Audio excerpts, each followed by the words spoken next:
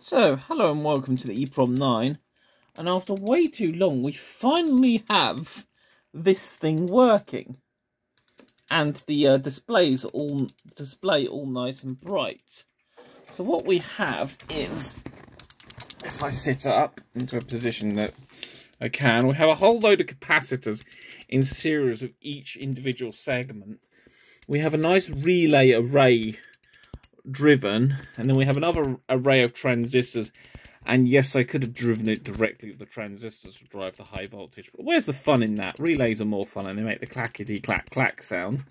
And then behind Mr. Bubbles, we have a little Pro Micro. I chose a Pro Micro in case I wanted to do keyboard stuff. And then we have here a um, backlight not backlight, a um, emergency light driver board. Uh, here's another one from the same type of light. I got a whole box of them for free from an old from a hotel on Facebook Marketplace. And uh, yeah, we've been having problems with power, but then my uh, partner behind me suggested that um, rather than trying to power it through the itty um, USB port here, dump the power straight into the problematic component, which is this beast, which kept pulling too much power and causing the USB to brown out and whatnot. And then we just got it running off my uh, one remaining working bench power supply. Although we did kind of fix that one. So, yeah, that's actually working a treat.